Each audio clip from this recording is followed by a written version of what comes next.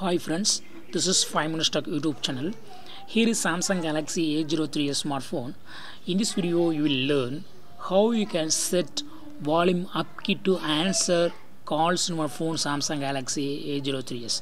Normally for incoming call you will use answer button, answer soft key button in the screen. If you want to use volume up to answer the call then yes you can set it first.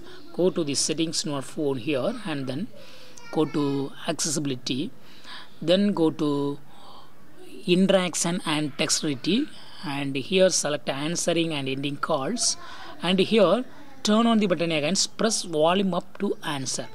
Now if you receive any call just you can use this volume up button to answer the call.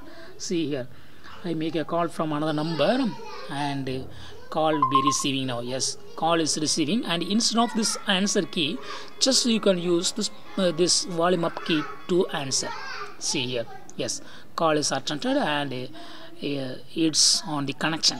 So in this way you can easily set volume up to answer the call in your phone Samsung Galaxy A03s so instead of soft answer key so you can uh, easily use volume up key to answer the call. So you can make sure that your call is attended okay? Sometimes uh, if touch is not sensitive then you can use volume up button to answer the call. This will be very useful for feature when uh, when, when touch is not sensitive.